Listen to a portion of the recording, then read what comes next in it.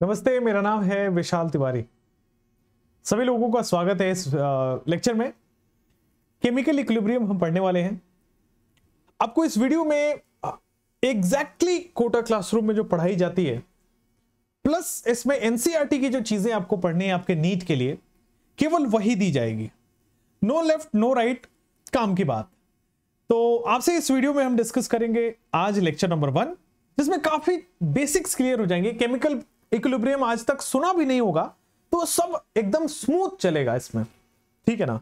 और थोड़ा सा मैंने एड ऑन किया अपने पढ़ाई के तरीके, पढ़ाने के तरीके में सो वो भी आपको फील होगा इसमें, है ना?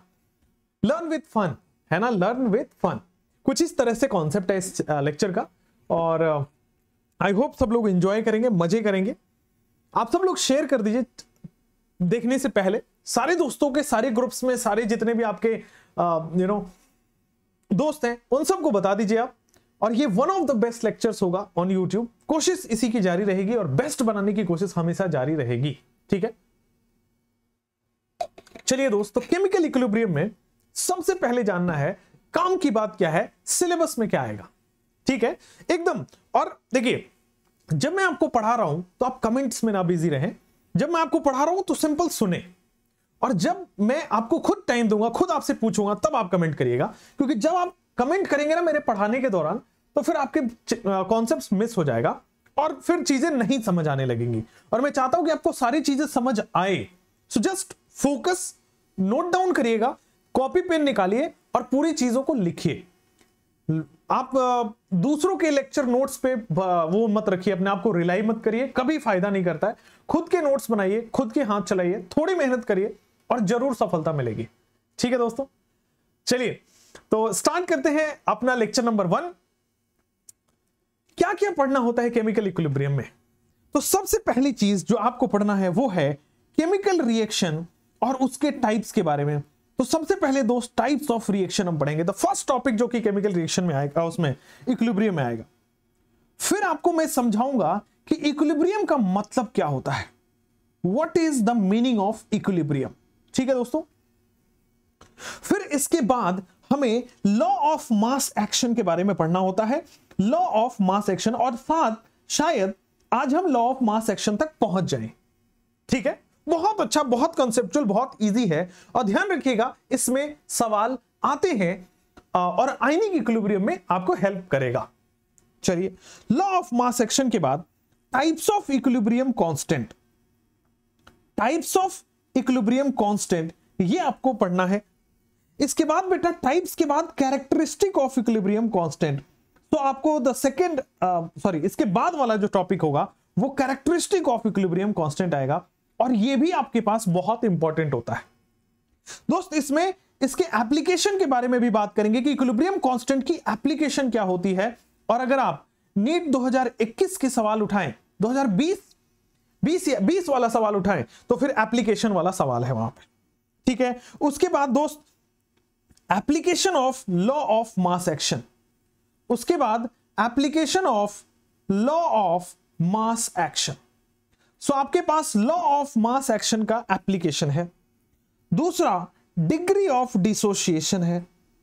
Next is degree of dissociation उसके बाद लास्ट टॉपिक यहाँ पे पढ़ना है दोस्त आपके पास ली शैटेलियर प्रिंसिपल ली शैटलियर प्रिंसिपल देख पा रहे हैं कि बहुत ज़्यादा बड़ा टॉपिक नहीं है, बहुत ज़्यादा बड़ा चैप्टर नहीं है और पढ़ के इंजॉयमेंट लगेगा, मज़ा आएगा केमिकल इक्विलिब्रियम में फ़ायदा करेगा काइनेटिक्स में फ़ायदा करेगा, आगे जाके थर्मोडायनेमिक्स में फ़ायदा करेगा और ये चीज़ें आपको आनी चाहिए, बहुत इंपॉर्टेंट है, सवाल आते हैं। ठीक है जी? बहुत आसान चैप्टर है, फिर मैं बताता हूँ। चलिए, अब मैं आपसे कुछ तीन महत्वपूर्ण चीज़ें बोलने वाला हूँ। वो तीन लेटर्स नहीं, जो आप सोच रहे हैं, तीन महत्वपूर्ण चीज़ें मैं आपसे पूछने वाला हूँ कि आखिर एक रिएक्शन क्यों होता है? आखिर ऐसा क्यों होता है? वही मैं पूछ रहा हूँ, आखिर एक रिएक्शन क्यों होता है? और दूसरा रिएक्शन और अगर रिएक्शन होता है तो कितने हद तक होता है? अगर रिएक्शन होता है तो कितना होता है? और तीसरा क्वेश्चन है कि कितनी तेज़ी से होता है। आखिर एक रिएक्शन क्यों होता है? और दूसरा क्वेश्चन है, कितने हद तक होता है या कितना होता है? और तीसरा, कितनी तेज़ी से होता है। जो पहला क्वेश्चन है कि आखिर एक रिएक्शन क्यों होता है, ये मतलब ये इसका आंसर मिलेगा। थर्मोडायनेमिक्स चैप्टर में। आखिर एक रिएक्शन क्यों होता है? ये थर्मोडायनेमिक्स चैप्टर में मिलेगा और कितने हद तक होता है, ये इक्विलिब्रियम चैप्टर में मिलेगा। और दोस्तों, और किस रेट से होता है, कितनी तेज़ी से होता है, कितने स्लो होता है, ये इसका आंसर मिलेगा आपको। बिल्कुल सही समझा आपने काइनेटिक्स के अंदर। सो ये तीन डिफरेंट चैप्टर हैं। वो तीन महत्वपूर्ण सवाल कौन है बेटे? पहला, आखिर एक रिएक्शन क्यों होता है थर्मोडायनेमिक्स में? आखिर अगर रिएक्शन होता है तो किस हद तक होता है? कितना प्रोडक्ट बनता है? किस ये पढ़ेंगे हम केमिकल इक्विलिब्रियम चैप्टर में। और कितनी तेज़ी से होता है किस रेट से होता है ये हम पढ़ते हैं काइनेटिक्स में। सो so, सेकंड वाला क्वेश्चन आज हम पकड़ के चल रहे हैं कि अगर एक रिएक्शन होता है तो कितने हद तक होता है? कितना बनता है प्रोडक्ट किस अमाउंट में बनता है प्रोडक्ट ठीक है जी? चलिए इससे पहले कि मैं आगे बढ़ूं मैं एक एग्ज़ाम्पल आपको देना चाहता हूँ। मान लीजिए बेटा, ये वही वाला मैं टब बना रहा हूँ। टब समझते हो बेटा? टब जिसमें वो वाला टब बनाता हूँ जिसमें बच्चे को नहलाया जाता है। ठीक है? अगर आप गाँव से हैं तो शायद आपने ये नहीं देखा होगा बट ठीक है, मुझे लगता है कि आप लोग यू नो शहर में आ चुके होंगे। मेरा गाँव का मतलब समझते हो? जंगल झाड़ी में रहने वाले लोग तो आप नहीं होंगे, मुझे लगता है। इसी में मान लीजिए कि आपको नहलाया जाता होगा। मान लीजिए दोस्त, ये पहले खाली है। ठीक है, चलिए अच्छी बात है। और मैंने यहाँ पे एक नल लगा दिया। मैंने क्या लगा दिया दोस्त? यहाँ पे भयानक तरीके से अमेजिंग तरीके से मैंने यहाँ पे नल लगा दिया। ठीक है, यहाँ पे ज़बरदस्त पानी आ रहा है। इस पानी आने का रेट जो है, बेटे वो 0.1 ml पर सेकेंड है। इस पानी आने का रेट क्या है? 0.1 ml पर सेकेंड क्या होगा? ऑब्वियसली पानी भरेगा। थोड़ी देर बाद क्या होगा? और पानी भरेगा। थोड़ी और देर बाद क्या होगा? और पानी भरेगा। थोड़ी और देर बाद क्या होगा? ऑब्वियसली और पानी भरेगा। भरता जाएगा भरता जाएगा भरता जाएगा। मान लीजिए महाराज, मैंने क्या किया? यहाँ पे फिर से एक क्या कर दी भाई साहब? एक और हमने यहाँ पे ओपनिंग होल कर दिया। कोई बदमाश बच्चा आया और शैतानी थे यहाँ पे होल कर दिया। और कोइंसिडेंस देखिए, जितनी रेट से पानी आ रहा है, उसी रेट से पानी जा रहा है। कोइंसिडेंस देखिए, जितनी रेट से पानी आ रहा है, उतने ही रेट से पानी जा रहा है। क्या होगा? आपको क्या दिखाई देगा? अरे सर, पानी भर चुका है। अगर मान लीजिए यहाँ पे ये बंद होता, यहाँ पे होल नहीं होता तो पानी का लेवल बढ़ता। लेकिन चूँकि होल है तो दोस्त, जिस रेट से आ रहा है, उस रेट से जा रहा है, पानी का लेवल सेम होगा। ऐसा लगेगा कि पानी का लेवल रुक सा गया है, थम सा गया है, ठहर सा गया है, रुका नहीं है, ठहरा नहीं है, थमा नहीं है थमसा गया है, रुक सा गया है, ऐसा फील होगा। होगा नहीं होगा? समझ आ रहा है क्या? यही इक्विलिब्रियम है। जब आपको लगता है कि रिएक्शन रुक गया है रिएक्शन ठहर चुका है रिएक्शन ठहर ठहर चुका है तो उसी आपको लगता है बट जो जो रुका नहीं होता है, ठहरा नहीं होता है, थमा नहीं होता है।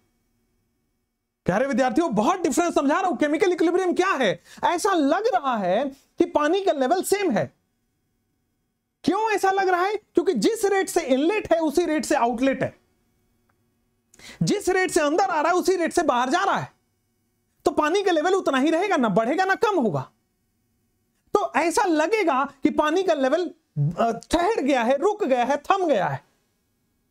ऐसा लगेगा कि रुकसा गया है, ठहरसा गया है, थमसा गया है बट बट चीज़ें बड़ी नॉर्मल है। मेरे दोस्त, रुका नहीं है।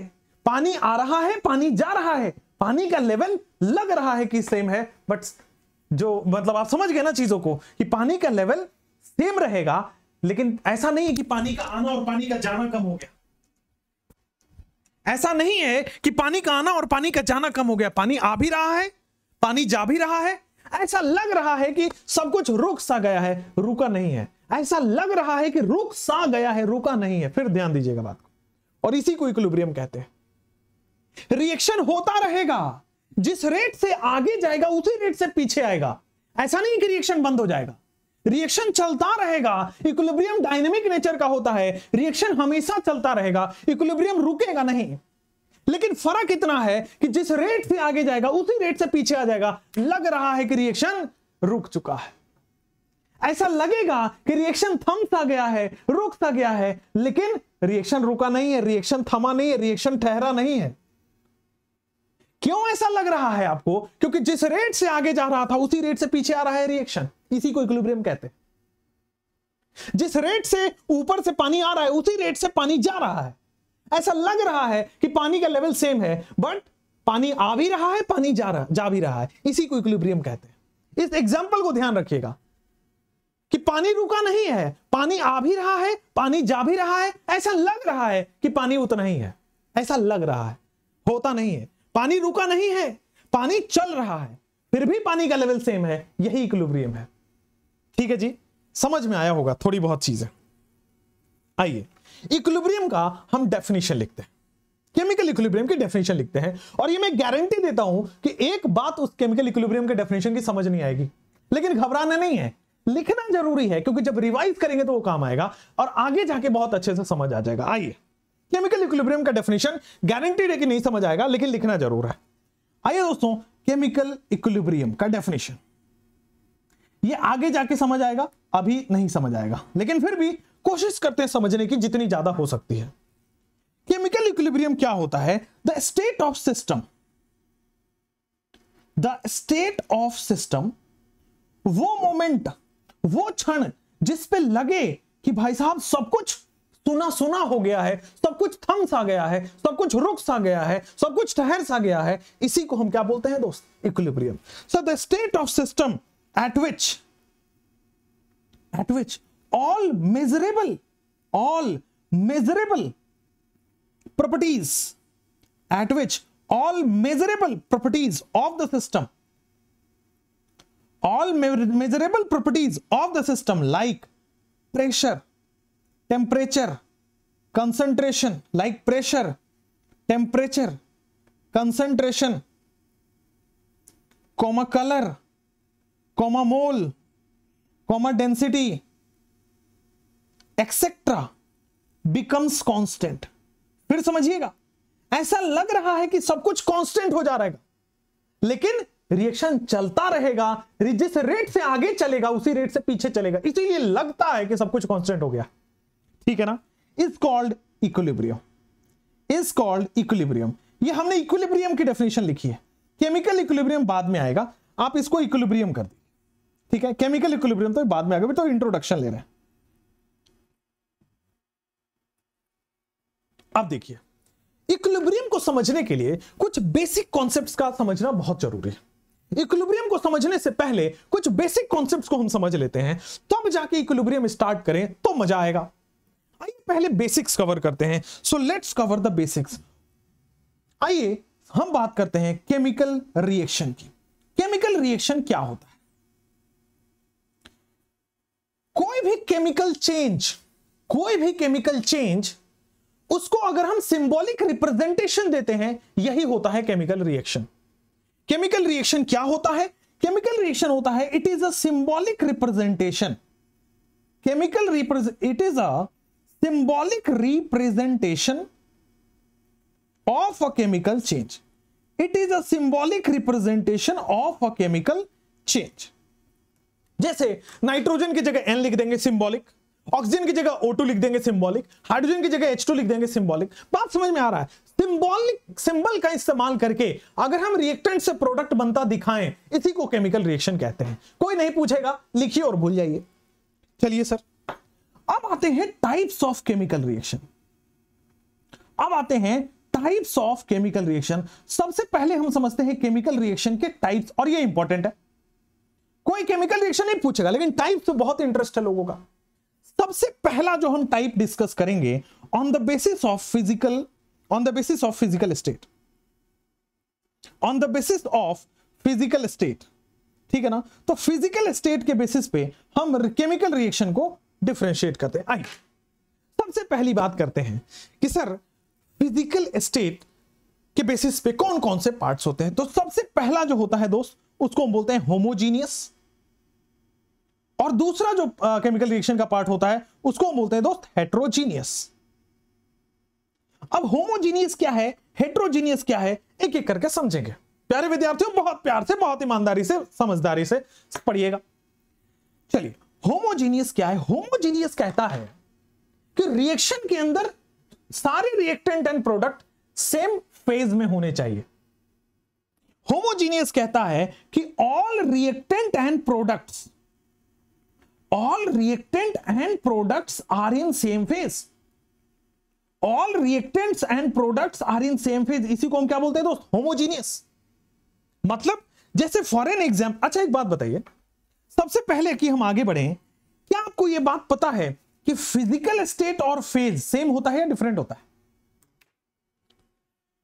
फ़िज़िकल स्टेट और फ़ेज़ सेम होता है कि डिफरेंट होता? है होमोजीनियस हेट्रोजीनियस ये फ़िज़िकल स्टेट के बेसिस पर है।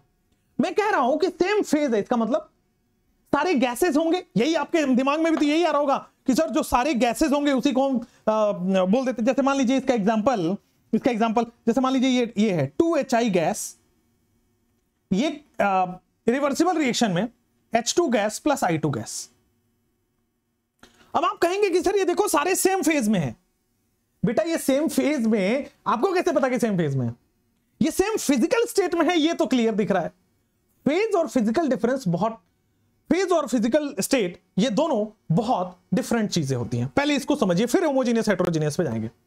पेज क्या होता है? फ़िज़िकल स्टेट क्या होता है? देखिए, जैसे मान लीजिए, मेरे पास ये पानी का बॉटल है। समझ गए? पानी का बॉटल है। इसका मैंने, इसमें मैंने क्या किया? भाई साहब, एक शुगर का या सॉल्ट का मिला दिया। एक स्पून इसमें मिला दिया। और इसको ज़बरदस्त घोल दिया। और घोलने के बाद फिर हमने उसमें देखा तो क्या आपको नमक दिखा है? नहीं दिखेगा। क्या आपको चीनी दिखेगा? नहीं दिखेगा, वो घोल चुका है। तो फ़ेज़ का मतलब होता है, जब हम फ़िज़िकल स्टेट में डिफरेंशिएट ना कर पाए। सॉल्ट क्या था? सॉलिड लेकिन वहाँ जाने के बाद सॉल्ट भी लिक्विड ही दिख रहा है। सॉल्ट अलग से सॉलिड फॉर्म नहीं दिख रहा है।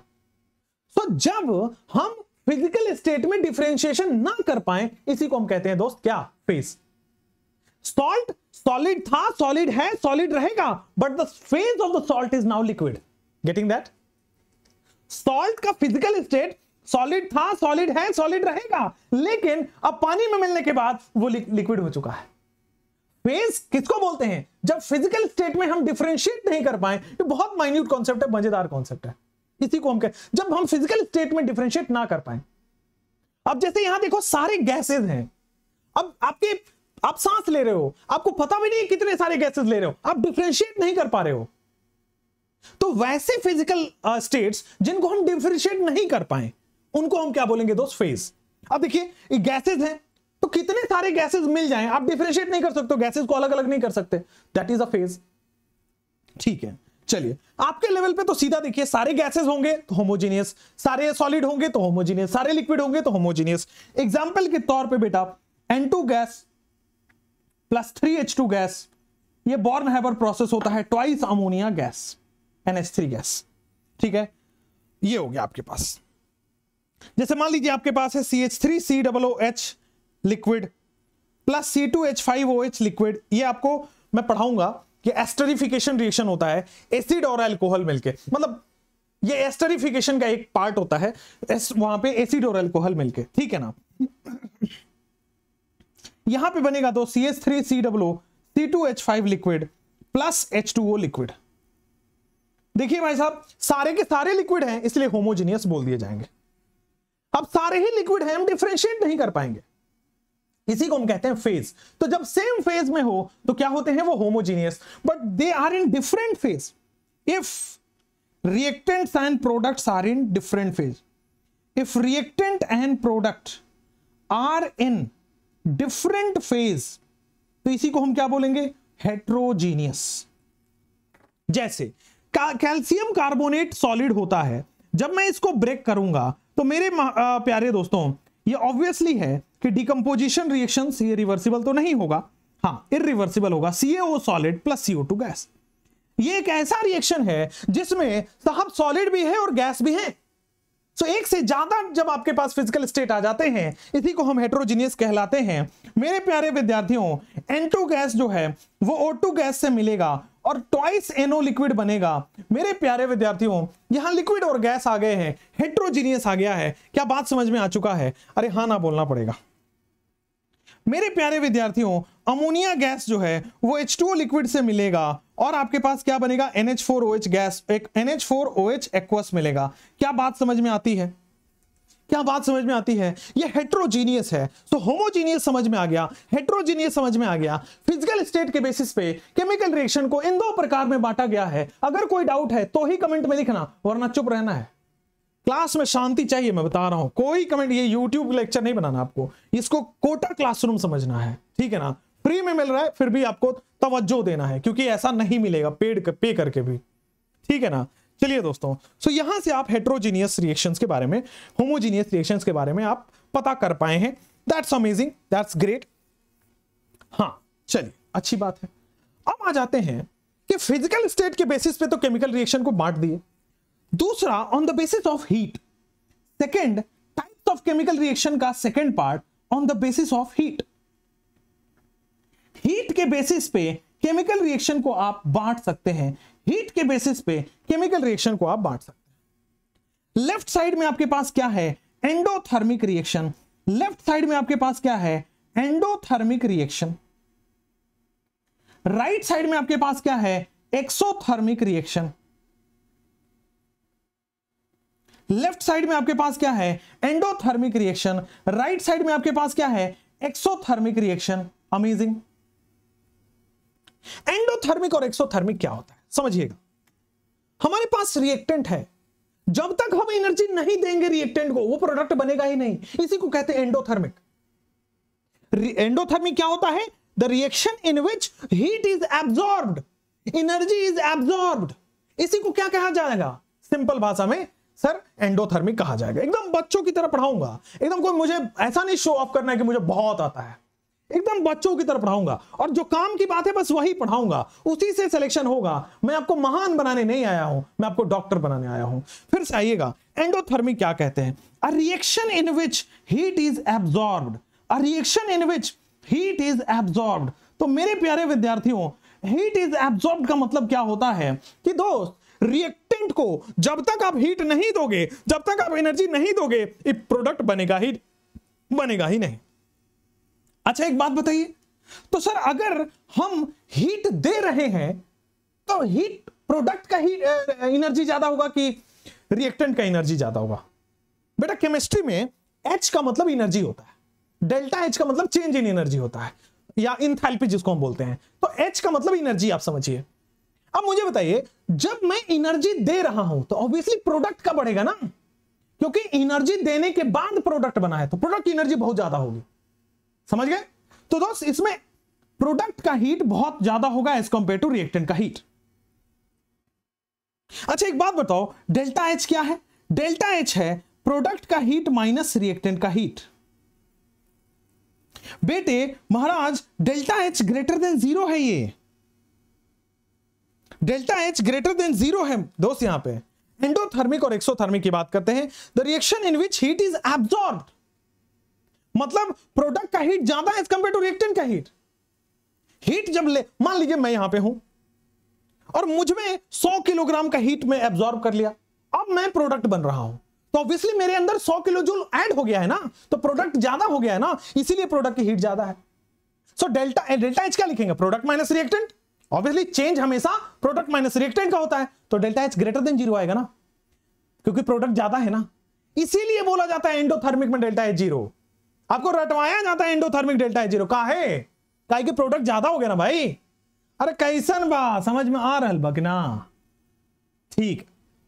यहाँ तक भी समझ आ गया, सर। सर, ऐसा है reaction in which heat is released reaction in which heat is released so so, ऐसा रिएक्शन जिसमें हीट रिलीज़ हो रहा हो इसको हम क्या बोलेंगे? एक्सोथर्मिक रिएक्शन अब रिएक्टेंट है प्रोडक्ट तब बनेगा? जब इसमें से कुछ कम हो जाए रिलीज़ हो जाए।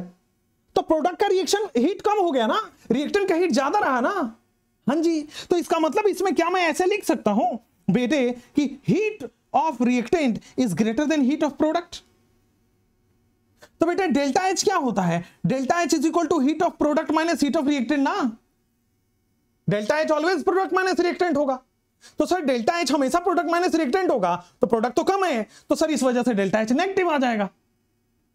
इसीलिए बोला जाता है एंडोथर्मिक में delta H negative and delta H positive पहली बार पढ़ रहे होंगे शायद। मतलब समझ रहे होंगे, पहली बार पढ़े तो बहुत बार हैं। क्यों? बात समझ में आ रही है क्या? इक्विलिब्रियम हम्म। का डेफिनेशन अगर आपसे कोई भी पूछे तो बोलिएगा, ऐसा लगता है कि रिएक्शन रुक सा गया है, थम सा गया है, ठहर सा गया है। रुका नहीं है। ठहरा नहीं है, थमा नहीं है। ऐसा लगता है कि रुक सा गया, ठहर सा गया, थम सा गया, ऐसा होता नहीं है। इसी को इक्विलिब्रियम कहते हैं। अच्छा ऐसा क्यों लगता है? क्योंकि जिस रेट से आगे बढ़ता है रिएक्शन उसी रेट से पीछे आता है रिएक्शन सो आगे जाने का रेट पीछे जाने का रेट चूँकि बराबर है, इसीलिए हम क्या कहते हैं? इसीलिए हम इसको इक्विलिब्रियम कह देते हैं। जिस तूफानी रेट से आगे जा रहा है, उसी तूफानी रेट से पीछे आ रहा है। ऐसा लगता है कि रिएक्शन स्टॉप हो गया है। स्टॉप होता नहीं है। ऐसा लगता है कि पानी उतना है। पानी पानी आना जाना बंद नहीं हुआ है। पानी आ भी रहा है, पानी जा भी रहा है। ऐसा लगता है कि पानी ठहर गया है, रुक गया है, थमसा गया है। अरे बोलो, बात समझ में आ गया है। अगर बात समझ में आई है, दोस्ती नहीं हुई है तो बहुत गड़बड़ बात है कि नहीं है। अरे नहीं है क्या? है ना? चलिए तो यहाँ तक आपने एंडोथर्मिक और एक्सोथर्मिक लिख लिया। ठीक है जी? कोई दिक्कत नहीं है जी। बात समझ में आ रहा है जी। ठीक है ना? चलिए सर, ऐसा है ऐसा है कि सर, मैं इसको ऐसा लिखना चाहता हूँ आर का मतलब रिएक्टेंट रिएक्टेंट में हीट देंगे, तभी तो प्रोडक्ट होगा। क्या यहाँ तक कोई दिक्कत? रिएक्टेंट में हीट देंगे, तभी तो प्रोडक्ट होगा। होगा नहीं होगा? यस लिखने का तरीका है। अच्छा यहाँ पे बताइए। रिएक्टेंट में से हीट रिलीज़ हो जाएगा। तब जाके प्रोडक्ट बनेगा। बोलो बात यहाँ तक ठीक है क्या? बोलो बात यहाँ तक ठीक है क्या? कोई परेशानी वाली बात नहीं है ना? रिएक्टेंट में से हीट निकल जाएगा तो प्रोडक्ट बनेगा। बोलो भाई, हट गया मैं। सामने से ही हट गया, बताओ। यार एग्जामिनर पता है, ऐसे भी दे देगा reactant is giving product minus heat अरे, कोई दिक्कत है क्या? लेफ़्ट में प्लस है तो राइट में माइनस हो जाएगा ना? ये एक्सोथर्मिक नहीं है। ये एंडोथर्मिक ही है और ये इंपॉर्टेंट भी है। यही सवाल में पूछा भी जाएगा। बात समझ के रखना है। ठीक है ना? और दोस्त reactant is going for product plus heat इसको ऐसा नहीं समझना है कि सर प्लस हीट है तो एंडोथर्मिक और माइनस हीट है तो एक्सोथर्मिक नहीं। अगर माइनस है तो प्लस में ले जाइए, तब कमेंट करिए। अगर माइनस है तो प्लस में ले जाइए, तब कमेंट करिए। समझ रहे हैं? दोनों तरफ़ घुमा के देख लेना दोस्त। अगर रिएक्टेंट में ऐड हो रहा है तो एंडोथर्मिक है। रिएक्टेंट से माइनस हो रहा है तो एक्सोथर्मिक है। रिएक्टेंट में ऐड हो रहा है तो एंडोथर्मिक है। रिएक्टेंट से माइनस हो रहा है तो एक्सोथर्मिक है। बाबा, समझ आया? अंकल आंटी, समझ आया? जितने अंकल आंटी पढ़ रहे क्लास में, समझ आ रहा होगा ना? तो रिएक्टेंट में ऐड करोगे तो एंडोथर्मिक रिएक्टेंट से हटाओगे तो एक्सोथर्मिक अरे, बोलो, सही है। अरे, बोलो, सही है। ठीक है सर, एक और चीज़ मुझे और आपको बताना है। ठीक है, अगर मान लीजिए, ये सब रिप्रेजेंटेशन का तरीका है भाई, ये सब रिप्रेजेंटेशन का तरीका है। यहाँ पे बताइए कि हीट किसका ज़्यादा है प्रोडक्ट का कि रिएक्टेंट का? प्रोडक्ट का। एक बात बताइए, अगर ही एनर्जी ज़्यादा है एच का मतलब एनर्जी हीट नहीं है एच का मतलब एनर्जी अच्छा अगर एनर्जी ज़्यादा है तो स्टेबिलिटी कम होगा या ज़्यादा होगा? स्टेबिलिटी और एनर्जी का इनवर्स रिलेशन पाया गया है वो। स्टेबिलिटी और एनर्जी का इनवर्स रिलेशन पाया जाता है। तो अगर एनर्जी ज़्यादा है तो स्टेबिलिटी कम होगी। तो प्रोडक्ट की स्टेबिलिटी कम होगी रिएक्टेंट की स्टेबिलिटी ज़्यादा होगी। अरे रिएक्टेंट स्टेबल है, तभी तो अपने आप प्रोडक्ट में नहीं बन रहा है। तभी तो उसको हीट देना पड़ रहा है, तब जाके प्रोडक्ट बनेगा। रिएक्टेंट ज़्यादा स्टेबल होता है। तो in case of endothermic question आ चुका है। रिएक्टेंट ज़्यादा है कि प्रोडक्ट ज़्यादा स्टेबल है? यहाँ पे लिखेंगे महाराज रिएक्टेंट्स आर मोर स्टेबल दिख रहा है ना? Reactants are more stable than product मुझे पूरा पूरा भरोसा है कि क्लियर हो रहा होगा। Reactants are more stable than product अच्छा जी reactants are more stable than product यहाँ पे बताइए, जिसका एनर्जी ज़्यादा, उसकी स्टेबिलिटी कम। सो रिएक्टेंट एनर्जी ज़्यादा स्टेबिलिटी कम। यहाँ पे लिखेंगे product is more stable than reactant product is more stable than than than reactant. अरे बोलो बात समझ में आई कि नहीं आई? अरे बोलो बात समझ में आई कि नहीं आई? अरे हाँ ना बोलना पड़ेगा। मित्रों, अब लाग जाके आपको और अच्छे से दिख रहा हो। बोलो ठीक है क्या? बोलो समझ में आ रहा है क्या? हाँ जी सर, यहाँ तक ठीक लग रहा है। एक बात और समझना चाहता हूँ। एक बात और समझना चाहता हूँ। ग्राफ। एक बात और समझना चाहता हूँ। Graph. Graph of endothermic and exothermic. ठीक है ना? थोड़ा देर साइड हो जाओ। साइड प्लीज़ बिल्कुल बिल्कुल।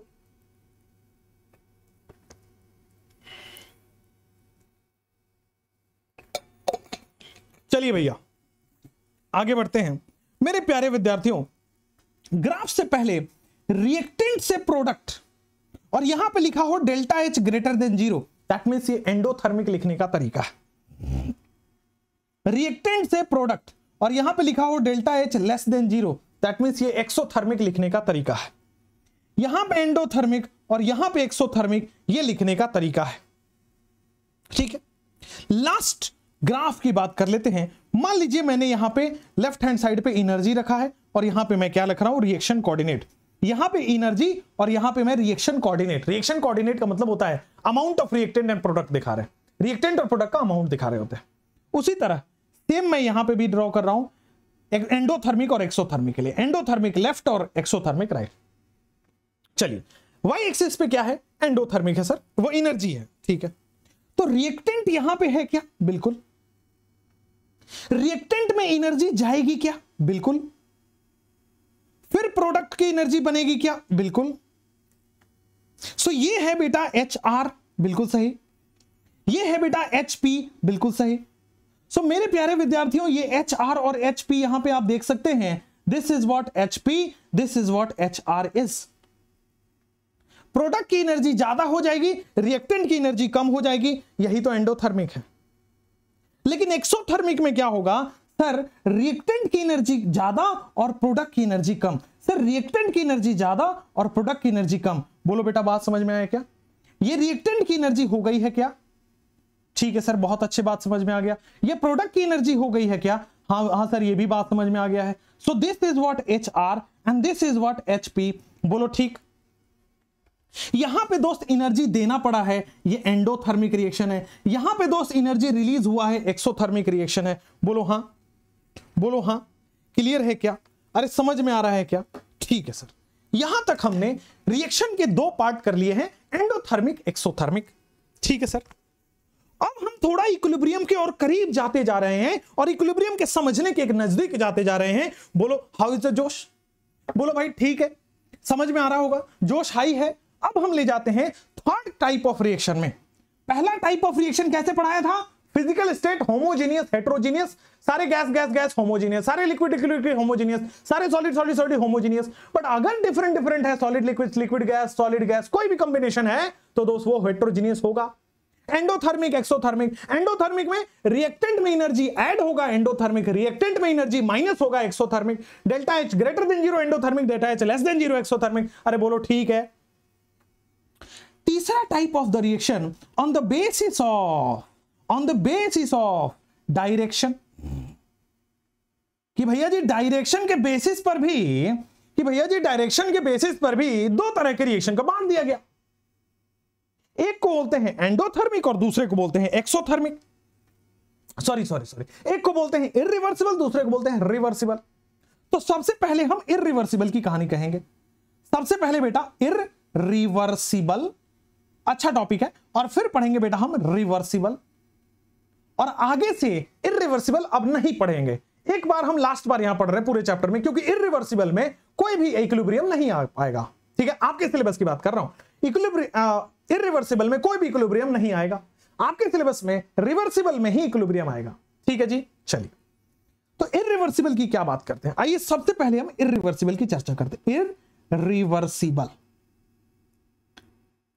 एक इंसान होता है जो भूला भटका, मान लीजिए गलती हो गई है तो भूले भटके वो घर को वापस आ जाता है। और एक ऐसा जिद्दी इंसान होता है कि नहीं भाई, एक एक बार निकल चुके तो निकल चुके। वो घर घर वापस लौट के नहीं आता। है सो जो एक बार प्रोडक्ट बन गया और वो वापस रिएक्टेंट की तरफ़ मुँह मोड़ के नहीं आ रहा है तो वो इरिवर्सिबल है। लेकिन जो घर को वापस लौट जाए, यही रिवर्सिबल होता है। कि चलो, कोई बात नहीं रिएक्टेंट से प्रोडक्ट बन गया, कोई बात नहीं, घर को वापस भी आ सकता है प्रोडक्ट से रिएक्टेंट बन सकता है, वो है रिवर्सिबल अगर सिंगल डायरेक्शन में जा रहा है कि रिएक्टेंट से प्रोडक्ट बनने के बाद अब कोई रास्ता खुला नहीं है प्रोडक्ट कोई रास्ता वापस नहीं आ रहा है तो वो इरिवर्सिबल है। The reaction which only proceed in one direction the reaction which completes उसी को हम कहते हैं इरिवर्सिबल रिएक्शन ठीक है ना? रिएक्शन यहाँ पे लिखेंगे a reaction which a reaction which can not proceed in which can not direction a reaction which can not proceed in reverse direction ठीक है ना? दूसरा a reaction which a reaction which cannot proceed in reverse direction, a reaction which only proceed in single direction. दोनों में से कोई भी आपका चलेगा। बेटे, दोनों में से कोई भी आपका चलेगा। कोई दिक्कत वाली बात नहीं होगी। समझ में आ रही है बात, ये बात? ठीक। वैसे रिएक्शन जिसमें वापस आने की टेंडेंसी ना हो, जो घर लौट के वापस ना आए, इसको हम क्या बोल देते हैं दोस्त? इरिवर्सिबल रिएक्शन ठीक है? चलिए। नेक्स्ट अब इसके कुछ कैरेक्टरिस्टिक हैं। Characteristics of irreversible characteristics of irreversible characteristics of irreversible की हम बात कर लेते हैं। आइए। जो घर लौट के वापस ना आए। सबसे पहले कि सर, ये सिंगल डायरेक्शन में जाता है, ये तो हमने लिख भी दिया। दूसरा it goes for completion it goes for completion goes for completion का मतलब है कि रिएक्टेंट से पूरा पूरा प्रोडक्ट बनेगा। अब एक बार जब पूरा प्रोडक्ट बन गया तो कभी भी रिएक्शन वापस नहीं आ सकता है। वापस आने की टेंडेंसी यही है। कि भाई साहब रिएक्टेंट से थोड़ा बहुत प्रोडक्ट बना है और थोड़ा बहुत ही बना है, तब तक आप वापस आ जाओ। जैसे ही रिएक्शन 100 परसेंट कंप्लीट होगा there is no any other way कि भाई साहब, उसको वापस लाया जा सके। सो so ये कंप्लीट हो जाता है, इसीलिए वापस नहीं आ पाता है। ठीक है जी? इट गोज फॉर कंप्लीशन ठीक है ना? यहाँ पे लिखेंगे extent of reaction is hundred percent extent of reaction is hundred percent अभी हम बताएँगे वो कौन कौन से रिएक्शन है। ठीक है? दूसरा दूसरा, इसमें लिखेंगे कि generally takes place in open container generally takes place in open container समझाने की कोशिश करता हूँ, अगर नहीं समझ आए तो थोड़ी देर के लिए वेट कर लेना। रिवर्सिबल में जब हम क्लोज समझाएँगे तो वहाँ समझ में आ जाएगा। बट अभी फिर से यहाँ समझिए। मान लीजिए, कोई रिएक्शन हो रहा है, और रिएक्शन वो खुले कंटेनर में हम करा रहे हैं ओपन कंटेनर में। और मान लीजिए बेटा प्रोडक्ट गैसियस बना तो ओपन कंटेनर में रहे तो उड़ जाएगा ना। तो वापस कहाँ से आ पाएगा? मान लीजिए A plus B is giving C plus D और सी गैस है तो सी उड़ जाएगा। ओपन कंटेनर में है तो सी उड़ उड़ जाएगा। तो बेटा, अब सी बचा ही नहीं। खत्म ही, उड़ गया ना तो वापस कहाँ आएगा? तो ओपन कंटेनर की सबसे खास बात यह होती है कि भाई साहब, ये तो पीछे आएगा नहीं रिवर्सिबल होगा ही नहीं। उड़ जाएगा, ऊपर चला जाएगा।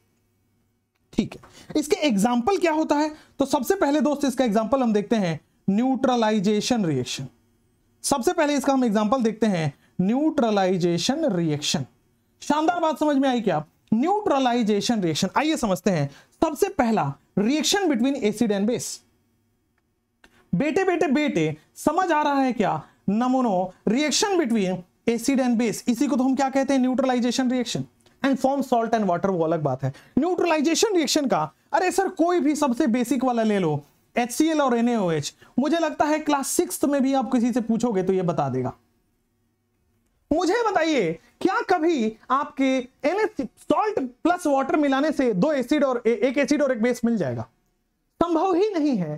तो ये acid plus base salt plus water ऐसा कभी नहीं होगा कि सॉल्ट और वाटर मिलाने से ये वापस मिल जाए। संभव ही नहीं होता है।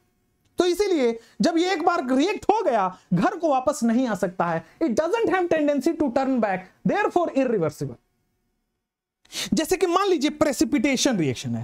सेकेंड एग्जांपल जो दो न्यूट्रलाइजेशन रिएक्शन के बाद, इसको हम देते हैं प्रेसिपिटेशन प्रेसिपिटेशन रिएक्शन मतलब मान लीजिए कोई प्रेसिपिटेट ही बन जाए, जैसे, ये भी एग्जांपल बड़ा सिंपल है। NaCl प्लस AgNO3 यहाँ पे बनता है दोस्त NaNO3 plus AgCl ion exchange reaction है प्लस माइनस एक्सचेंज हो गया। जो एजीसीएल बनता है, बेटा वो प्रेसिपिटेट बना लेता है। मतलब एजीसीएल जो है, वो बीकर के नीचे जाके बैठ जाएगा। वो प्रेसिपिटेट बना लिया। नीचे जाके इंप्यूरिटी जैसा बैठ जाएगा वो। अब जब नीचे जाके चिपक गया तो काहे को पीछे जाने जाए आप समझिए कि H C L N H C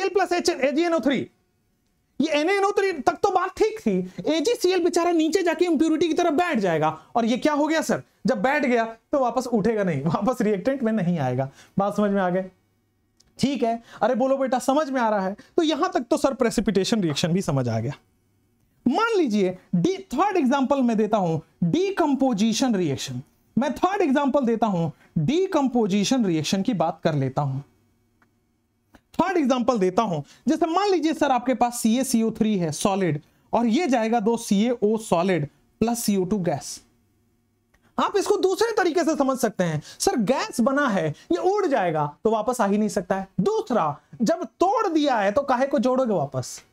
decomposition का मतलब टूटना होता है, टूट चुका है, अब ये वापस जुड़ेगा नहीं। इरिवर्सिबल का प्रोसेस है, दोस्त। तीसरा, चौथा चीज़, सर, आपके पास कोई ज्वलन जलाने वाली चीज़ अब मान लीजिए आप जला देंगे। ऐसा थोड़ी है कि कागज़ जला दिए। अब जलाने के बाद वो जो राख बचता है कि वापस कागज़ बना लोगे। नहीं तो इरिवर्सिबल है। जो चीज़ें घर को वापस ना आ पाए, वो इरिवर्सिबल हो जाती हैं। जैसे मान लीजिए हमने हाइड्रोकार्बन को, हमने क्या किया दोस्त? जला दिया। तो कार्बन डाइऑक्साइड और पानी बन गया। और कार्बन डाइऑक्साइड और पानी बना कार्बन डाइऑक्साइड उड़ जाएगा या पानी अपना बह जाएगा, जैसा भी हो, वापस नहीं आ पाएगा। तो जो घर को लौट के वापस ना आए, वो क्या कहलाते हैं? इरिवर्सिबल और ध्यान दें, घर को लौट के वापस कौन नहीं आता है? इरिवर्सिबल और क्यों नहीं आता है? हंड्रेड परसेंट कंप्लीट हो जाता है वो वापस लौट के आने के लिए ध्यान रखिए हंड्रेड परसेंट कंप्लीट नहीं होना चाहिए। थोड़ा बहुत ही अभी, मान लीजिए, जैसे मान लीजिए कोई एक लड़का है। मान लीजिए कोई भी आप में से एक लड़का है। अंकल, आंटी में से कोई भी अंकल जी है, मान लीजिए। अंकल जी का एग्ज़ाम्पल ले लेते अब अंकल जी बेचारे बिगड़ गए, घर से भाग गए, बिगड़ गए। अब घर वाले तभी तक एक्सेप्ट करेंगे जब तक कंप्लीटली नहीं बिगड़ा है हंड्रेड परसेंट नहीं बिगड़ा है। अगर वो हंड्रेड परसेंट बिगड़ गया, डाकू बन गया क्रिमिनल बन गया, घर वाले वापस नहीं लेंगे। There is no reversible way हाँ थोड़ा बहुत बिगड़ा है अभी बस, थोड़ा बहुत ही शरारत कर रहा है। तो ठीक है, उसको घर पे लाके दो तीन थप्पड़ लगाएँगे, वो सुधर जाएगा। हंड्रेड परसेंट कंप्लीट हो जाएगा तो रिएक्शन वापस नहीं आ सकता। हाँ हंड्रेड परसेंट से कम है तो ठीक है, कोई बात नहीं। हाँ उसको वापस लाने की टेंडेंसी है। और ऐसा आंटी जी लोग खुश ना होए। आंटी जी लोग भी उतना ही है। उनके साथ भी यही है बेटा। ठीक है ना? चलिए। कई लोग बच्चे कह रहे हैं सर, आप तो खाली हम लोगों का मज़ाक उड़ाते हैं, लड़के का मज़ाक उड़ाते हैं, पता नहीं आप क्या हम लोगों से दुश्मनी पाल रहे बेटे, लड़कों का दर्द हमसे छिपा है क्या? चलो, आ जाओ दोस्त। रिवर्सिबल के बाद हम इरिवर्सिबल के बाद हम बात करते हैं रिवर्सिबल की। जो घर को लौटकर वापस आ जाए, जो लौटकर घर को वापस आ जाए, वही क्या है? रिवर्सिबल है। मतलब reaction which can proceed in backward as well as forward a reaction which can proceed in backward as well as forward a reaction which can proceed in backward as well as forward is reverse is called reversible reaction a reaction which can proceed in backward as well as forward is called reversible reaction means इसका मतलब क्या है मतलब निकालिए बेटा read between the lines इसका मतलब reactant has the tendency to convert to product and product also has the tendency to convert into reactant जब दोनों आपस में घुल मिल सकते हैं तभी रिवर्सिबल होगा बेटे means reactant can change into product reactant can change into product and product also can also change to reactant and product can also change to also change into reactant बोलो बात समझ में आ गई अरे हाँ या ना बोलना पड़ेगा आई दूसरी चीज़ यहाँ पे आप देखेंगे बहुत इंपॉर्टेंट बात है कि बेटे, जैसे मान लीजिए आपके पास, जैसे मान लीजिए आपके पास ये एक रिएक्शन है, बेटा ए प्लस बी इससे बेटा, आगे बढ़ा था रिएक्शन और सी प्लस डी बना था। जैसे ही सी प्लस डी थोड़ा बहुत बना, इसका मन किया कि वापस हम घर को चलते हैं, वापस रिएक्टेंट से रिएक्टेंट बनाते हैं। तो अगर ऐसा सिचुएशन है कि रिएक्टेंट से प्रोडक्ट भी बन सकता है प्रोडक्ट से रिएक्टेंट भी बन सकता है, इसी को हम रिवर्सिबल रिएक्शन कहते हैं। ठीक है? और रिवर्सिबल रिएक्शन में ही जिस रेट से प्रोडक्ट बनेगा, अगर उसी रेट से रिएक्टेंट बन रहा है, इसी को इक्विलिब्रियम कहते हैं। जिस रेट से आगे जा रहा है, उसी रेट से पीछे आ रहा है, इसी को इक्विलिब्रियम कहते हैं। जिस तूफानी स्पीड से आगे जा रहा है, उसी तूफानी स्पीड से पीछे आ रहा है तो इसी को हम इक्विलिब्रियम कहते हैं। और जिस स्पीड से आगे जा रहा है, उसी स्पीड से पीछे आ रहा है। तो क्या होगा? ऐसा लगेगा कि सब कुछ रुकसा गया है, सब कुछ थमसा गया है, सब कुछ ठहर सा गया है। रुका नहीं है बेटे, ठहरा नहीं है बेटे, सब सब कुछ सहमा नहीं है बेटे। तो इसका मतलब क्यों ऐसा लग रहा है? जिस रेट से आगे गया, उसी रेट से पीछे आया। मान लीजिए ये दस प्रोडक्ट में दस एडिशन किया तो प्रोडक्ट में से माइनस भी हो जाएगा दस रिएक्टेंट की तरफ़। तो दस आगे भी बढ़ रहा है, दस पीछे भी बढ़ रहा है तो कुल मिला के ज़ीरो तो भाई जितना था उतना है। तो ऐसा लगेगा कि सब कुछ रुकसा गया है, थमसा गया है, ठहर सा गया है बट रुका नहीं है, ठहरा नहीं है बात समझ में आ गई होगी। ठीक है क्या? अरे हाँ है ना? समझ रहे ना? चलिए भाई साहब, यहाँ तक ठीक है। कैसन बा? ठीक है। चलिए तो यहाँ तक आपको ठीक ठीक लग रहा होगा। चलिए, आइए हम कैरेक्टरिस्टिक की बात करते हैं। रिवर्सिबल रिएक्शन की कैरेक्टरिस्टिक्स पढ़ लेते हैं। So characteristics of reversible reaction काय बेटा कैरेक्टरिस्टिक्स ऑफ़ रिवर्सिबल रिएक्शन ठीक है? एक गाना सुन रहा था मैं तो वो मुझे बहुत अच्छा लगा तो मैंने सोचा आपको भी सुना दूँ। चाँद वाला मुखड़ा लेके। सुना है अपना ओके मामू। जब प्लस क्लास में पता नहीं क्यों मुझे लोग मामू बुलाते हैं। आई डोंट नो व्हाई मैं शायद अंकल आंटी बोलता हूँ तो वो फ्रस्ट्रेशन निकालने की कोशिश करते हैं बट आपको लगता है आप कोशिश कर सकते हो, पहुँच नहीं सकते हो। ये भी है, ये भी इक्विलिब्रियम ही है। आपको लगता है कि आप पहुँच जा रहे हो बट पहुँच नहीं पा रहे हो। समझ रहे बेटा? यह भी इक्विलिब्रियम है। चलिए कैरेक्टरिस्टिक्स ऑफ़ रिवर्सिबल रिएक्शन की बात करते हैं। सबसे पहली बात कि product can be converted back to reactant products can be converted back to reactant into reactant अरे बात समझ में आ गई। ठीक है, सर। समझ गए, सर। दूसरी। यहाँ पे लिखेंगे proceeds in forward as well as backward proceeds in forward as well as backward reaction proceeds in forward as well as backward reaction proceeds in forward reaction है direction proceeds in forward as well as backward direction या direction ठीक है, sir, यहाँ तक भी बात समझ में आ गई है।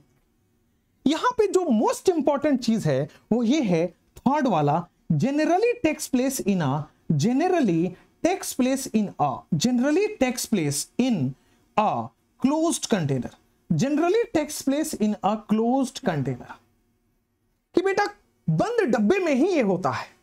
क्यों? अगर मान लीजिए खुला डब्बा ले लिया तो भाई साहब जो गैस बनेगा वो उड़ जाएगा। जो जो जो मान लीजिए वेपर बनेगा वो उड़ जाएगा। तो चीज़ें एस्केप आउट कर जाएगी।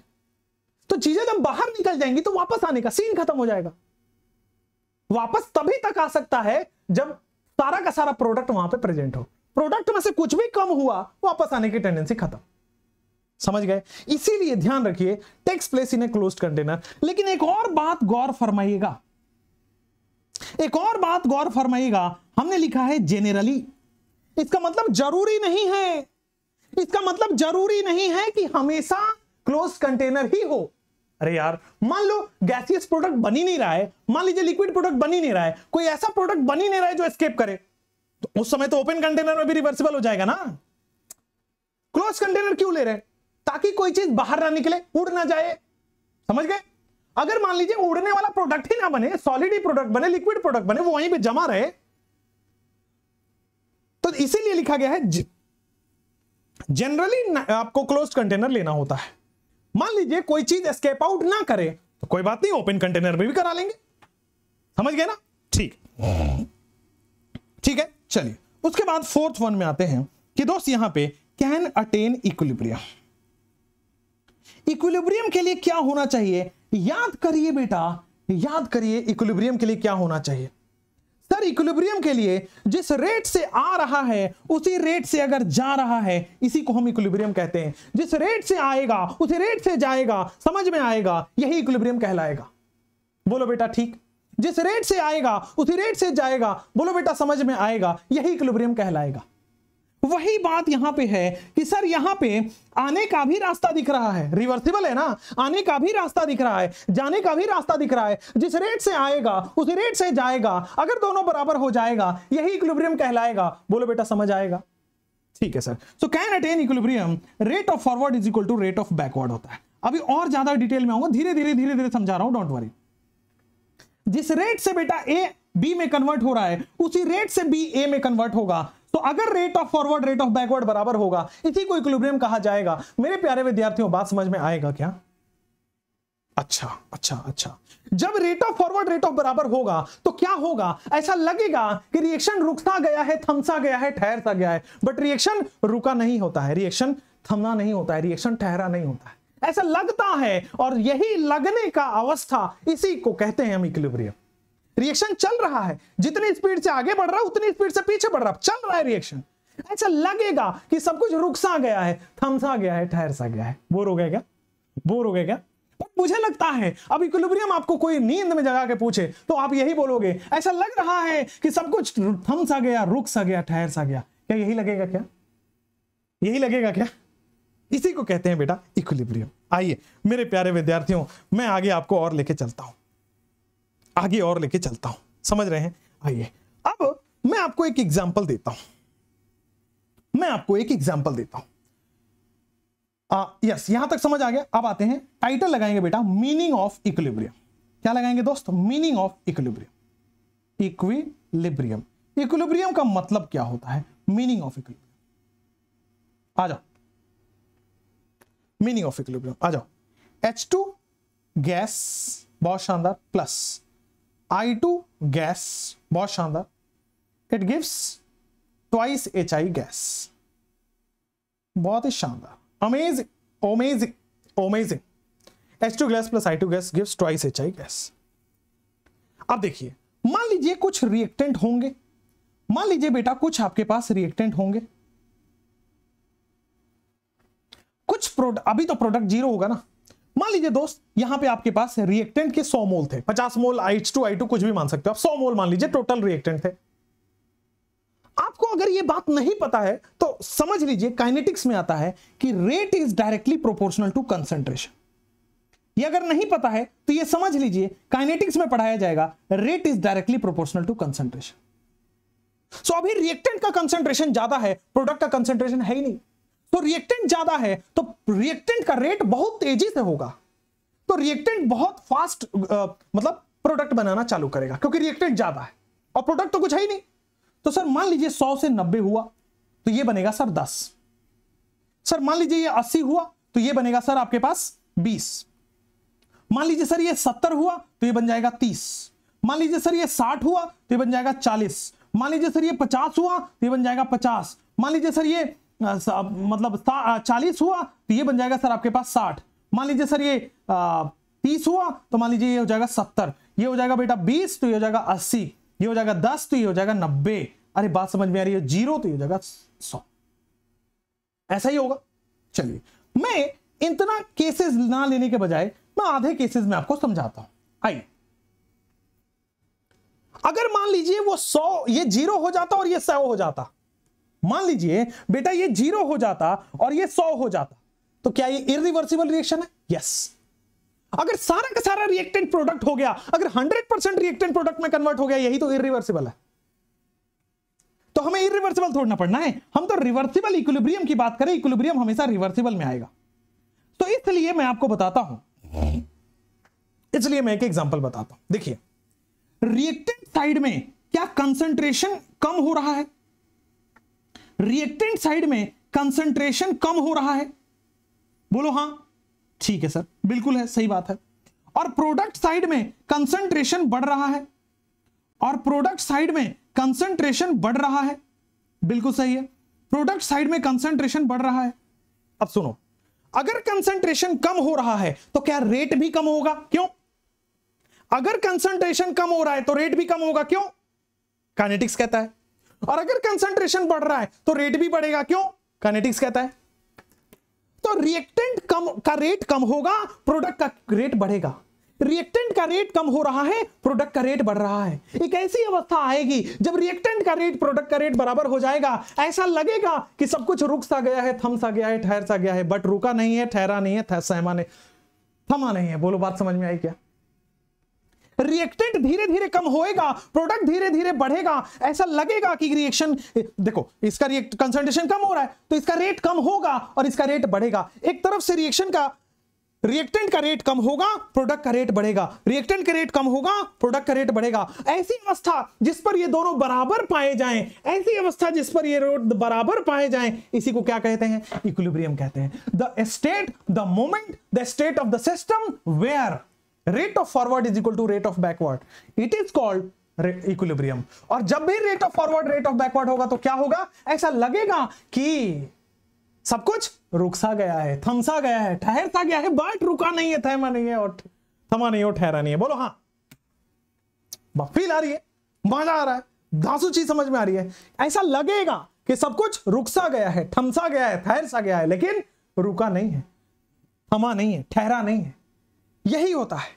तो इसीलिए बेटा, इसी को कहते हैं equilibrium equilibrium the moment the state the moment at which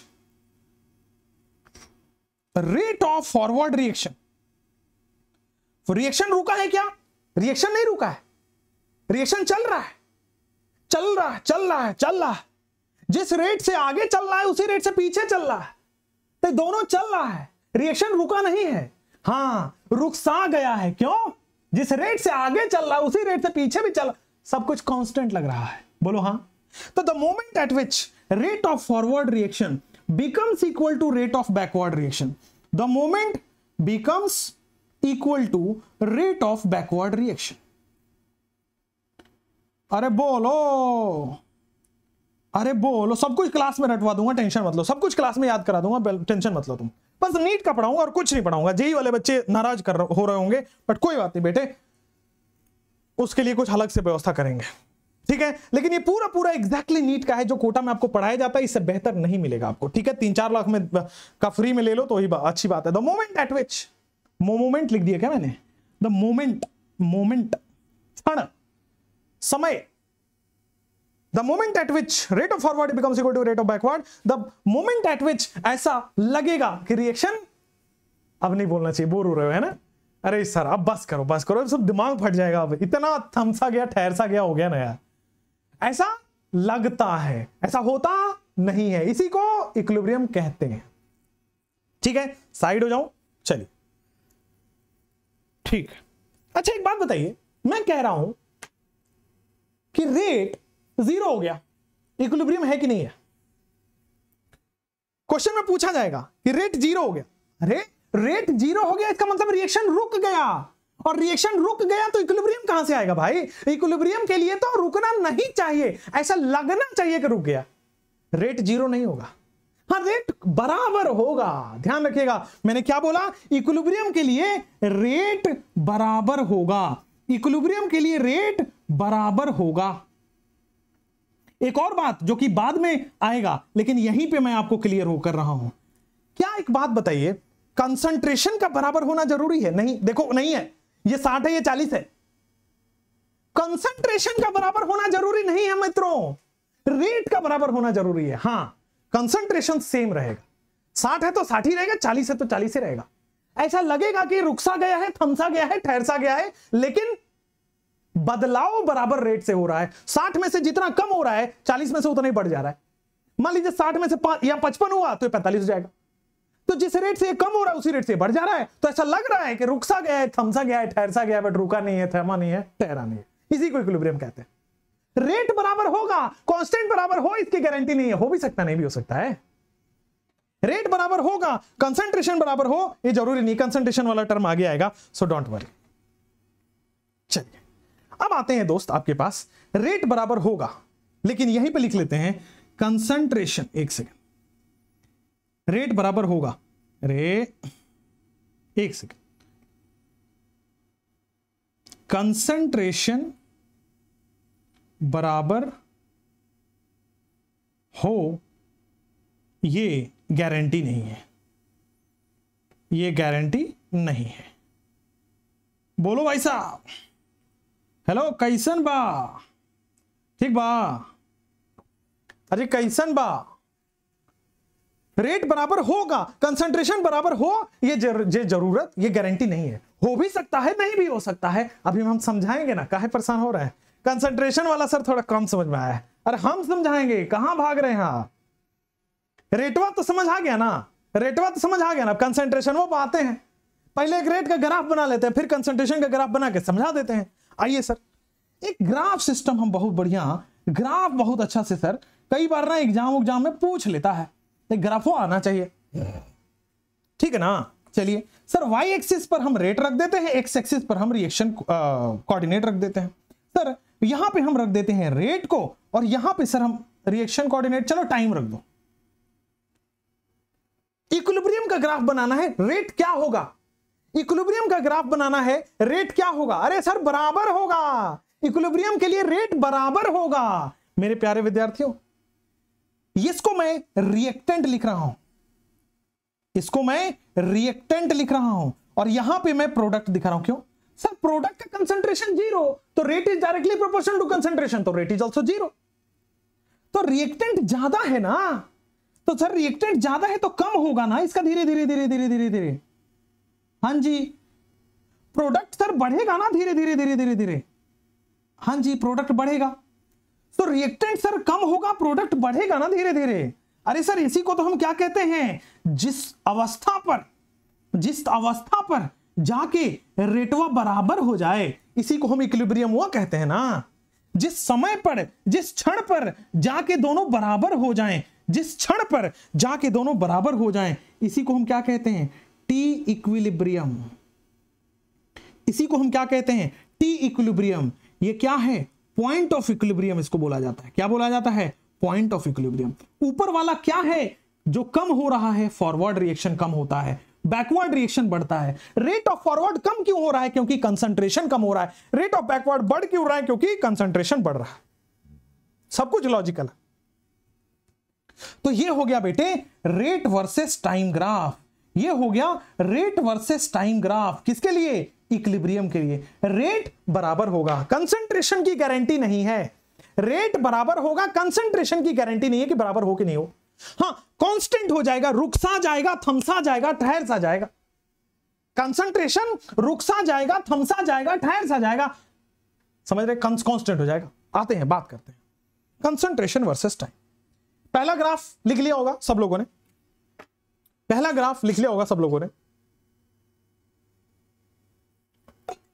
Rate of forward is equal to rate of backward जिस समय पर rate of forward rate of backward बराबर हो जाएँगे, इसी को हम क्या कहते हैं? इसी को हम कहते हैं, जिस समय पर जाकर rate of forward rate of backward बराबर हो जाएँगे, इसी को हम इक्विलिब्रियम कहते हैं। चलिए, अब ये हो गया आपके सामने graph rate versus time graph अब आते हैं कंसंट्रेशन वर्सेस टाइम ग्राफ अब आते हैं बेटे ग्राफ वो भी कंसंट्रेशन वर्सेस टाइम ग्राफ वो भी concentration versus time concentration versus time graph आपको बताना है। आइए एक एक करके समझते हैं। Concentration versus time graph sir concentration versus time graph की बात करते हैं। यहाँ वाई एक्सिस पे हम कंसंट्रेशन रखते हैं और एक्स एक्सिस पे हम सर टाइम रख देते हैं। वाई एक्सिस पे फिर से हम कंसंट्रेशन रखते हैं और एक्स एक्सिस पे हम टाइम रख देते हैं। वाई एक्सिस पे सर कंसंट्रेशन रखते हैं और एक्स एक्सिस पे टाइम रख देते हैं बोलो बेटा बात समझ में आई क्या वाई एक्सिस पे कंसंट्रेशन एक्स एक्सिस पे टाइम वाई एक्सिस पे कंसंट्रेशन एक्स एक्सिस पे टाइम वाई एक्सिस पे कंसंट्रेशन एक्स एक्सिस पे टाइम अरे बोलो बेटा बात समझ में आई क्या वाई एक्सिस पे कंसंट्रेशन एक्स एक्सिस पे टाइम तीन ग्राफ हम बनाएँगे चल सर वाई एक्सिस पे हम रखते रहे कंसंट्रेशन और एक्स एक्स एक्सिस पे रख रहे हैं टाइम वाई एक्सिस पे रख रहे हैं हम कंसंट्रेशन और एक्स एक्सिस पे रख रहे हैं हम टाइम वाई एक्सिस पे रख रहे हैं हम कंसंट्रेशन और एक्स एक्सिस पे रख रहे हैं हम टाइम बोलो ठीक. वाई एक्सिस पे कंसंट्रेशन एक्स एक्सिस पे टाइम वाई एक्सिस पे कंसंट्रेशन एक्स एक्सिस पे टाइम आइए. यार, मान लीजिए कोई एक रिएक्शन है. मैं थोड़ा रफ वर्क यूज़ करूँ क्या? चलिए. मान लीजिए कोई एक रिएक्शन है जो कि रिएक्टेंट है, जो कि प्रोडक्ट बन रहा है. ये इनिशियली 100 था ये तो कुछ भी नहीं था ज़ीरो था। मान लीजिए 100 से आया 80 और मान लीजिए ये ये बना 20 ऑब्वियसली ये जब 80 ये 20 कम होगा तो 20 बनेगा। और मान लीजिए यहाँ पे इक्विलिब्रियम आ गया।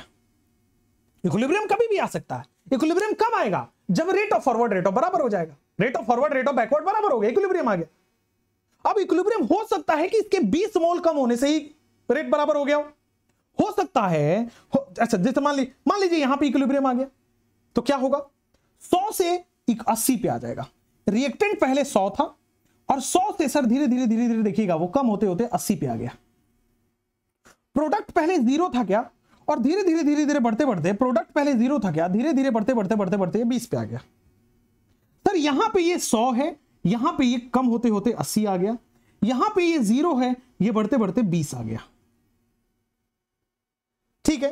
अब मान लीजिए सर, ये ये वाला टाइम देखिए ना, ये वाला टाइम देखिए यहाँ पे जाके, यहाँ पे जाके कंसंट्रेशन इक्वल कांस्टेंट हो गया है। इक्विलिब्रियम का डेफिनेशन क्या है? ये क्या है? ये क्या है? अन अकेडमी प्रोडिजी ये क्या है? वो तो बाद में आना था। आ जाओ। हाँ तो दोस्त, ये देखिएगा मेरे दोस्त। हाँ सर, ये 100 से 80 पे आया और ये ज़ीरो से 20 पे गया, ये बढ़ गया और यहीं पे इक्विलिब्रियम आ गया। इक्विलिब्रियम का डेफिनेशन क्या है? सर इक्विलिब्रियम का डेफिनेशन कहता है कि रेट बराबर होगा। तो मान लीजिए जब वो 100 से 80 गया और ये ज़ीरो से 20 गया, तभी रेट बराबर हो गया। रेट का कोई फिक्स थोड़ी है कि आधे घंटे बाद ही आएगा? कभी भी आ सकता है रेट बराबर हो सकता है। ठीक है ना? रेट रेट बराबर हो जाएगा तो आपके पास इक्विलिब्रियम आ जाएगा। कंसंट्रेशन बराबर हो ये गारंटी नहीं है। हो सकता है जब वो सौ से अस्सी आया हाँ कंसंट्रेशन कांस्टेंट होगा ये गारंटी है। यहाँ पे लिखिए कंसंट्रेशन कांस्टेंट होगा। जो भी होगा वो कांस्टेंट होगा। अस्सी है तो अस्सी ही रहेगा। कंसंट्रेशन कांस्टेंट होगा गारंटीड कंसंट्रेशन कांस्टेंट होगा गारंटीड आइए समझते हैं कंसंट्रेशन कांस्टेंट कैसे रहेगा गारंटीड में? आइए समझते हैं। कंसंट्रेशन कैसे होगा गारंटीड में हम समझते हैं। यहाँ पे आइए, एक सेकंड कंसंट्रेशन कांस्टेंट होगा गारंटीड आइए। जो भी होगा, ये साठ है तो साठ ही रहेगा, ये चालीस है तो चालीस ही रहेगा। मैंने बोला ना रुकसा जाएगा थमसा जाएगा, ठहर सा जाएगा। जहाँ है वहीं पे वैसा का वैसा रह जाएगा। पानी का लेवल जितना था उतना रह जाएगा। जैसे ही इक्विलिब्रियम आया, पानी का रेट जितना था उतना रह जाएगा। अब बराबर हो या नहीं, क्या फ़र्क पड़ रहा है? जितना है उतना रहेगा। अस्सी है तो अस्सी रहेगा, साठ है तो साठ रहेगा, पचास तो पचास रहेगा, चालीस तो चालीस रहेगा। तो यहाँ पे देखेंगे कंसंट्रेशन भाई साहब, सौ से अस्सी पे आया, ये ज़ीरो से बीस पे गया, हो गया इक्विलिब्रियम रेट बराबर होते इक्विलिब्रियम आ गया। तो ये वाला समय, ये देखिएगा, ये रिएक्टेंट का कंसंट्रेशन है और ये प्रोडक्ट का कंसंट्रेशन है। कंसंट्रेशन लिखने का तरीका होता है स्क्वायर ब्रैकेट में। आगे जाके पढ़ेंगे भी। ये कंसंट्रेशन लिखने का तरीका होता है। ठीक है? यहाँ पे सर, ये डॉटेड लाइन के बाद क्या हो गया है? डॉटेड लाइन के बाद सर कंसंट्रेशन इज़ कांस्टेंट ठीक है? यहाँ पे क्या हो रहा है सर आपके पास? कंसंट्रेशन ऑफ़ रिएक्टेंट यहाँ पे क्या हो रहा है? एक सेकेंड ना यहाँ पे हो रहा है रिएक्टेंट का कंसंट्रेशन ज़्यादा है एज कंपेयर टू प्रोडक्ट का कंसंट्रेशन ठीक है? आइए, यहाँ पे आइए। सर, यहाँ पे आप देखेंगे रिएक्टेंट जो है, मान लीजिए सर, वो सौ से, मान लीजिए सर, वो दूसरा केस लेते हैं। मान लीजिए सौ था, ये ज़ीरो था। ये सौ से कम होते होते बीस हो गया। और ये ये अगर ये बीस हो गया तो अस्सी कम होगा तो अस्सी बनेगा। तो रिएक्टेंट सर कम हो गया बहुत ज़्यादा और प्रोडक्ट बहुत ज़्यादा ही बढ़ गया। जितना कम होगा उतना बढ़ेगा। चलिए आइए। तो उसी चीज़ को समझाते हैं। सर कंसंट्रेशन जो है वो कम होते होते होते होते कहाँ आ गया? बीस पे आ गया। उसी तरह जो हमारा प्रोडक्ट है, वो बढ़ते बढ़ते बढ़ते बढ़ते कहाँ चला गया? अस्सी पे चला गया। तो वो वाला समय जब के बाद, वो वाला समय जब के बाद कंसंट्रेशन कांस्टेंट हो गया। वो वाला समय जिसके बाद कंसंट्रेशन कांस्टेंट हो गया। और इसी को हम क्या कहते हैं? इक्विलिब्रियम इक्विलिब्रियम में क्या होगा यहाँ पे दोस्त? रिएक्ट प्रोडक्ट की कंसंट्रेशन प्रोडक्ट की कंसंट्रेशन ज़्यादा होगी एज कंपेयर टू रिएक्टेंट की कंसंट्रेशन ठीक है? यह भी हो सकता है। या हो सकता है सर, सौ से बढ़ते बढ़ते, सौ से बढ़ते बढ़ते, मान लीजिए वो पचास पे आके रुक जाए। इक्वल भी तो हो सकता है, ये भी तो केस है। यार आईपैड हिल रहा है। सौ से कम होते होते होते होते पचास पे आ जाए। सर, ये ज़ीरो से बढ़ते बढ़ते बढ़ते बढ़ते पचास पे आ जाए, ये तीसरा केस तो कंसेंट्रेशन कम भी हो सकता है, ज़्यादा भी हो सकता है, बराबर भी हो सकता है। लेकिन इक्विलिब्रियम कब आएगा? जब कंसेंट्रेशन कांस्टेंट हो गया। सो प्रोडक्ट की concentration is equal to reactant की कंसेंट्रेशन प्रोडक्ट की concentration is equal to reactant की कंसेंट्रेशन ठीक है? आप देखेंगे सो कंसंट्रेशन के तीन तरह के ग्राफ है। कंसंट्रेशन की कोई गारंटी नहीं। कंसंट्रेशन कम भी हो सकता है, ज़्यादा भी हो सकता है, बराबर भी हो सकता है।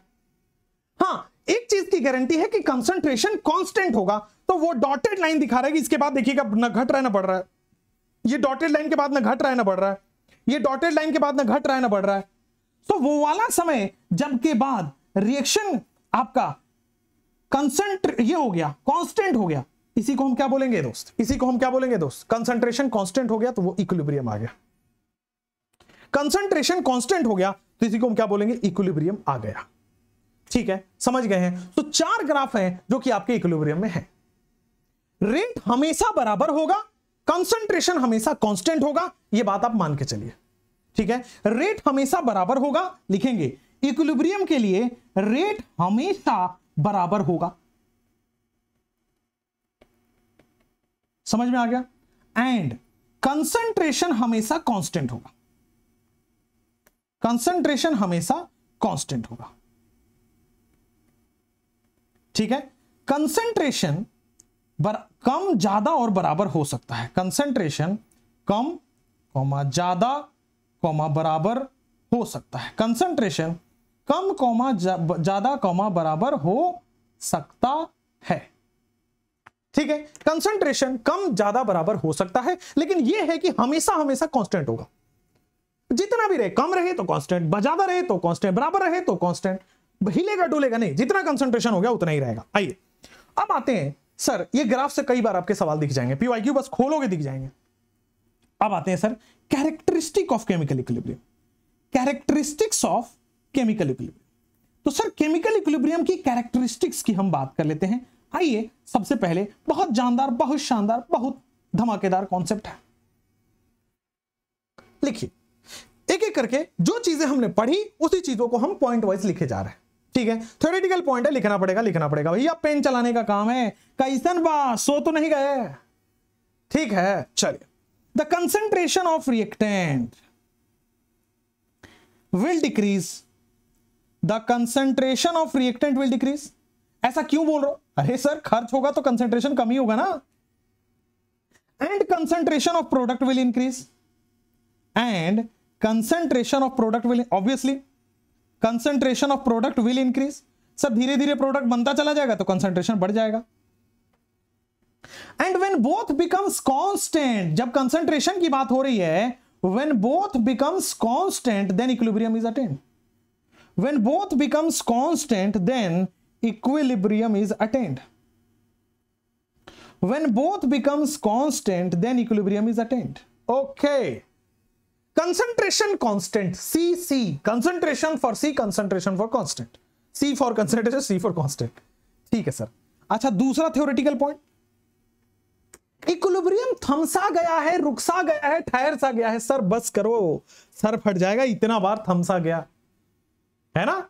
इक्विलिब्रियम डायनेमिक नेचर का होता है। थमसा गया है, थमा थोड़ी ना है। रेट बढ़ रहा है। रिएक्शन आगे भी जा रही है रिएक्शन पीछे भी जा रही है। रिएक्शन चल रहा है। चल रहा है, चल रहा है। लेकिन जिस रेट से आगे चल रहा है, उसी रेट से पीछे चल रहा है। यही तो इक्विलिब्रियम है। ऐसा लग रहा है कि सब कुछ रुक गया बट रुका नहीं है। ऐसा लगता है, चलो, अब दोबारा रिपीट नहीं, पता नहीं, थमसा गया रुक सा गया, कितना पसंद आ गया सर आपको। चलो, आ जाओ। Equilibrium is dynamic in nature equilibrium is dynamic in nature and and none of the forward and backward reaction stops. and none of the forward and backward reaction none of the forward and backward reaction stops ठीक है none of the forward but but but both are moving at but both are moving at same rate कौन से both अरे forward and backward both are moving at same rate hence no change is observe ऐसा लगता है कि थमसा गया है, रुकसा गया है, ठहरसा गया है बट ऐसा लगता है। इसीलिए कह रहे hence no change is observe but change होता है। ठीक है? जिस रेट से आगे बढ़ रहे हैं, उसी रेट से पीछे जा रहे हैं but change is observe no change is observe चलिए नेक्स्ट तीसरा। सर कंसंट्रेशन की बात हो गई इक्विलिब्रियम डायनेमिक नेचर की बात हो गई रेट की बात करते हैं। Rate of forward reaction decreases क्यों भाई? अरे सर कंसंट्रेशन डिक्रीज होता है ना, और काइनेटिक्स कहता है कि rate is directly proportional to concentration so rate of forward reaction का होता है? Rate of forward reaction decreases and rate of backward reaction increases and rate of backward reaction increases and rate of backward reaction increases. Chali but rate of backward reaction but when both becomes equal but when both becomes equal then equilibrium is attained. And when both becomes equal then equilibrium is attained. And when both becomes equal equilibrium is attained. जब दोनों बराबर हो जाएँगे, तभी equilibrium आएगा। Rate बराबर constant concentration rate equal concentration constant rate equal concentration constant और तीसरा क्या कहता है? थमसा गया है, रुकसा गया है ठहर सा गया है बट रुका नहीं है, थमा नहीं है, ठहरा नहीं। बोलना हल्के हल्के, बोलना हल्के। कमेंट्स में समझ आया क्या? Side sir side sir sir side sir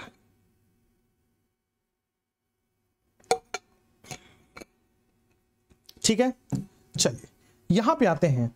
आपके सिलेबस के हिसाब से equilibrium is only established equilibrium is only established in in reversible reaction कैसन बा? ऑब्वियसली ना रेट ऑफ़ फॉरवर्ड और रेट ऑफ़ बैकवर्ड को बराबर होना पड़ेगा।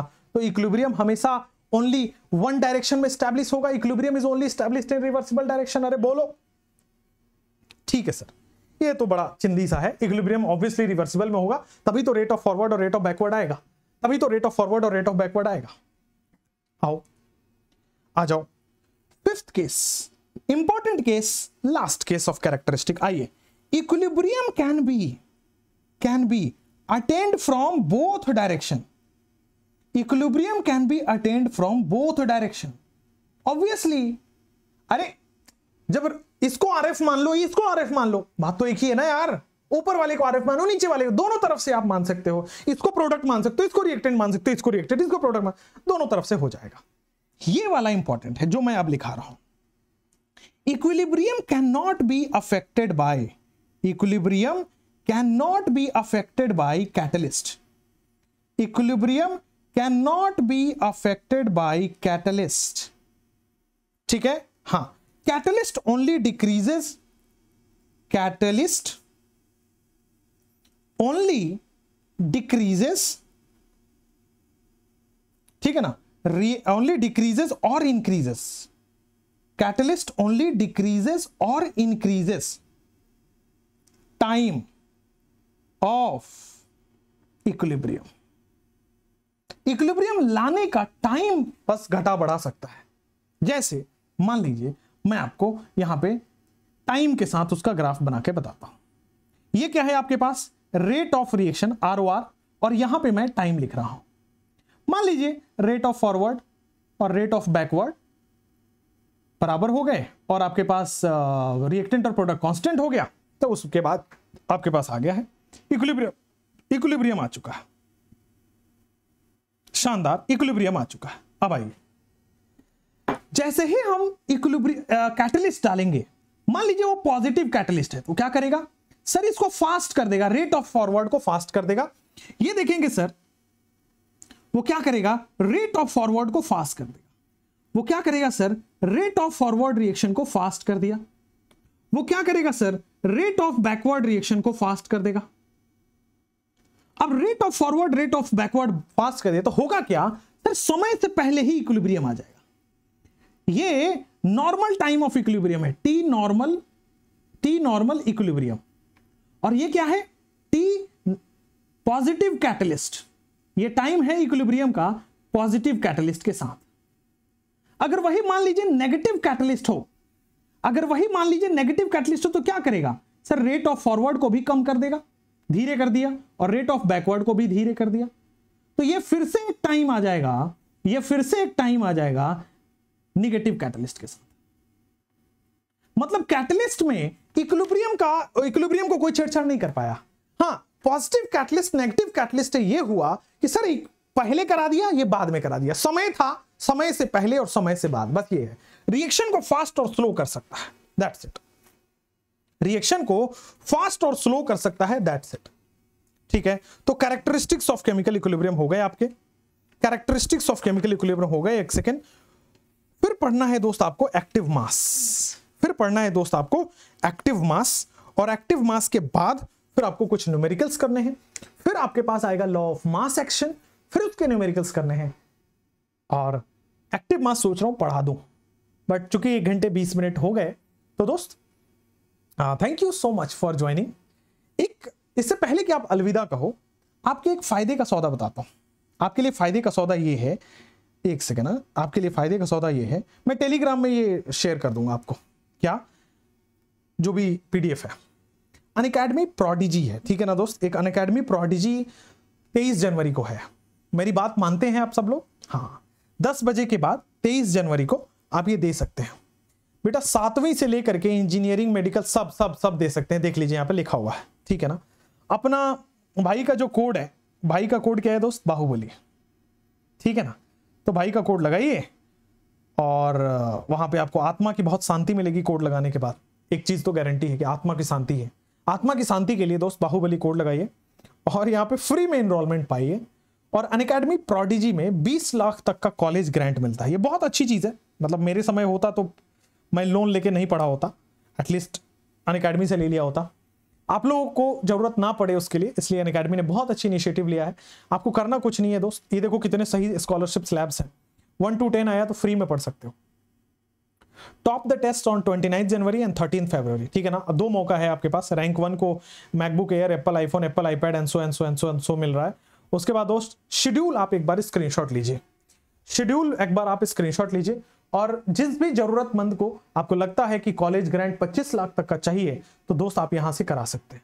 ठीक है? Test one test two test three test four ठीक है? ये 23 जनवरी 29 जनवरी 6 फरवरी और 12 फर, 13 फरवरी। इस तरह के आपके शेड्यूल हैं। Class seven eight nine ten JEE class eleventh के लिए NEET UG class eleven JEE class twelve and dropper and NEET class NEET UG class twelve and dropper ठीक है?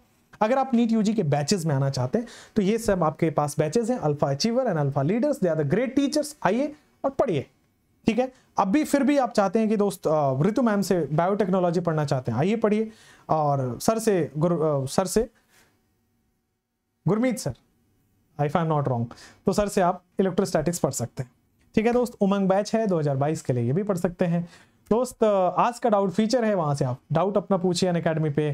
Crack NEET UG dream with Unacademy बेटा, छह month लीजिए, एक महीने का फ्री मिलेगा, अठारह महीने लीजिए, दो महीने का फ्री मिलेगा, चौबीस महीने लीजिए, तीन महीने का फ्री मिलेगा।